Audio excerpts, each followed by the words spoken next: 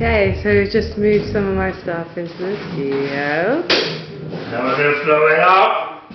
Boom! The boom will be edited afterwards. Once I've mastered After Effects, I will make that happen.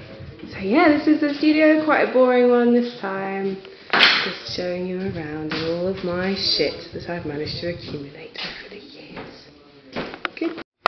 Yeah, it's recording now. Okay, recording and I look like hell. No, you look lovely. I'm knackered from moving all this stuff from the top of the house to the bottom of the house to the car to here, although I didn't do that bit, and then um, from out there to in here. And I'm really sweaty, I can feel my knees are kind of damp. Just a little extra note on moving in. Alex?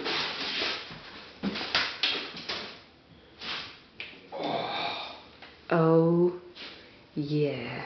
Oh, doesn't this one make you have? Oh.